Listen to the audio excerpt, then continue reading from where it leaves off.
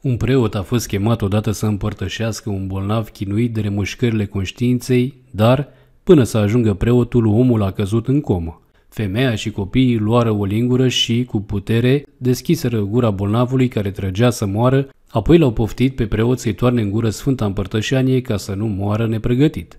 Dragii mei, le zise preotul, această taină nu se ia așa oricum, trebuie o pregătire sufletească. Isus așteaptă să deschidem noi de bunăvoie ușa inimii noastre cât suntem pe picioare și în viață, căci, la moarte, iată este prea târziu.